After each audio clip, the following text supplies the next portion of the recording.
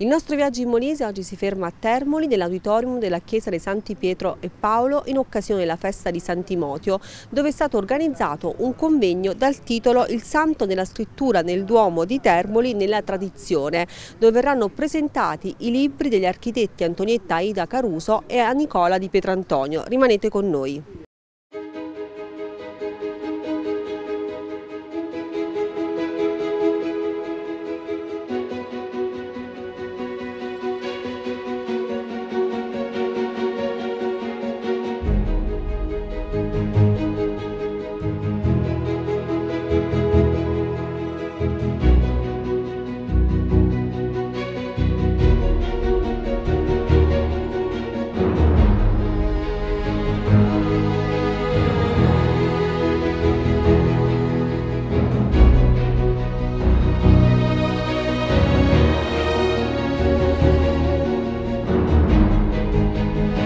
Padre Enzo Nonzitti, oggi questo appuntamento in occasione di San Timoteo avete organizzato con due architetti che hanno scritto appunto dei testi inerenti al tema e lei li ospita nell'auditorium. Sì, certamente sono molto contento di questo perché è un'idea che è arrivata così all'improvviso perché dovevamo vivere questo appuntamento tanto tempo fa, poi tanti inconvenienti o, con, o, contraddittori che non ce l'hanno permesso. E l'idea che poi ci è venuta è quella di farla coincidere con questo giorno che è la memoria liturgica di San Timoteo e San Tito, quindi quale giorno migliore nella quale noi a Termoli non siamo abituati a viverlo con processioni, bande o cerimonie particolari perché ne abbiamo un altro di appuntamento a maggio, quello del rinvenimento. Però questa circostanza ci permette a livello parrocchiale accogliendo anche gli altri che abbiamo invitato a vivere San Timoteo nel calendario liturgico della Chiesa. Architetto Antonietta Ida Caruso, oggi qui in occasione di questo incontro per parlare, discutere, anche approfondire la figura di San Timoteo a Termoli, lei ha scritto a proposito un libro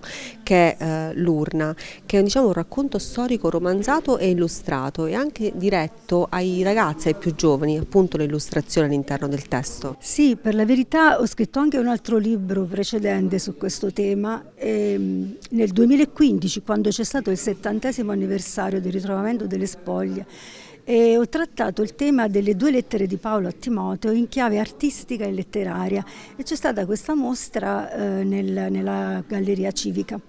Eh, invece questo libro è particolarmente rivolto ai ragazzi, come giustamente dicevi, ed è un libro più romanzato, anche se c'è la parte storica, ma la maggior parte del libro è occupato da un racconto.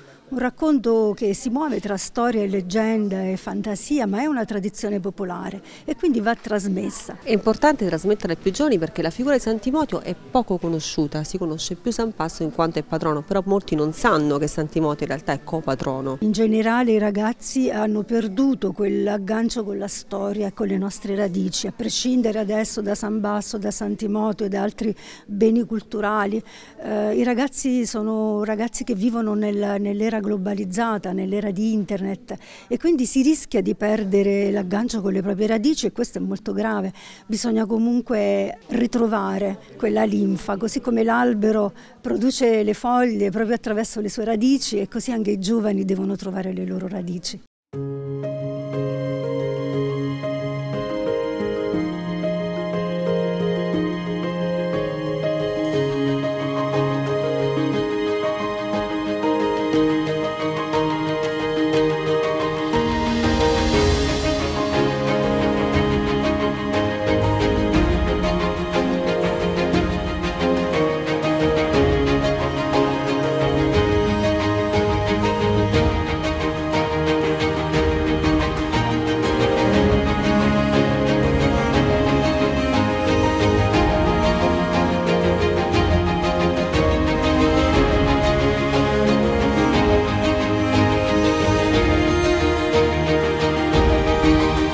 Architetto Nicola Di Pietrantonio, oggi lei è qui ospite insieme alla collega Ida Caruso per presentare il suo libro La Basilica di San Timoteo. Lei ha fatto uno studio in questo libro in cui rinviene appunto quali sono eh, i collegamenti col San Timoteo della Basilica che oggi noi conosciamo come Cattedrale Santa Maria della Purificazione. Allora cosa succede? Che andando a ripercorrere un po' le fasi costruttive della chiesa mi sono reso conto che l'edificazione almeno dell'ultima parte dell'ultima chiesa che vediamo adesso coincideva con i tempi in cui le reliquie di San Timoteo sono arrivati a Termole. E questo mi ha lasciato riflettere, ho detto ma possibile che un, un evento così importante non lascia una traccia sulla facciata della chiesa?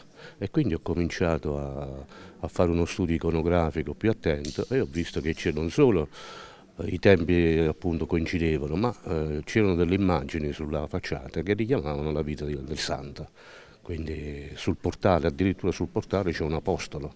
Chi può essere quell'apostolo se non Timoteo, fianco a San Basso? E poi ci sono altre scene riguardanti sempre la vita del santo, alcune faccette di San Paolo oppure da alcune donne che sono le donne che hanno uh, formato la vita del, del santo, quindi la madre Unice e la nonna. E quindi ecco, mettendo insieme tutte queste cose mi sono, mi sono reso conto che la presenza di San Dimonte era più evidente di quello che, che potesse sembrare. Del resto cosa è successo? Eh, San Dimonte arriva qui nella, nella, prima decada del 200, nel 39, quindi appena dopo 20 anni, 30 anni lo nascondiamo e poi se ne perde la memoria.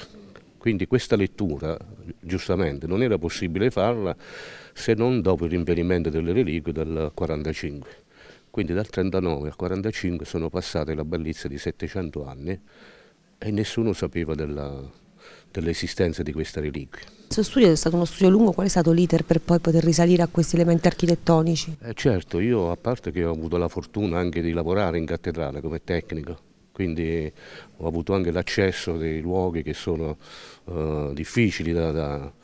E quindi piano piano, cominciando, quindi lo studio è durato quasi 30 anni.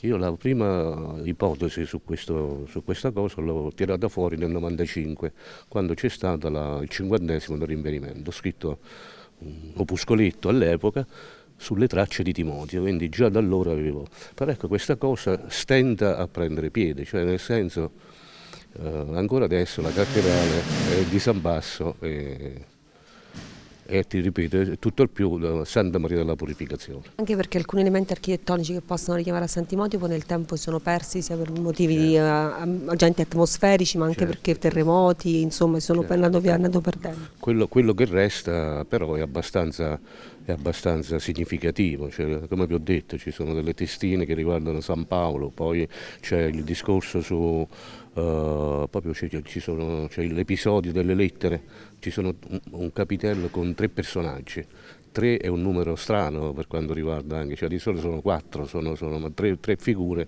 e sono proprio Paolo che dà le lettere a Timoteo e Tito, quindi una, una cosa più esplicita di questa qui, non, sarebbe difficile dare un altro eh, attribuire un altro significato a un capitello di quel tipo. Tra la facciata e la basilica ci sono elementi appunto che richiamano chiari a San Timoteo, all'interno ora forse non più ma in passato ci potevano esserci? Sicuramente, sicuramente, anche perché quello che ripeto vediamo oggi è una parte eh, anche molto, quindi sulla facciata eh, la facciata ha subito eh, terremoti, ha subito, ha subito, rifacimenti, quindi veramente poco quello che resta. Eh, io ho individuato addirittura un vero e proprio ciclo posizionato in una, in, una, in una, parte particolare della facciata, quindi non era una cosa così secondaria o eh, c'è stato uno studio all'origine molto, molto eh, specifico su questa cosa.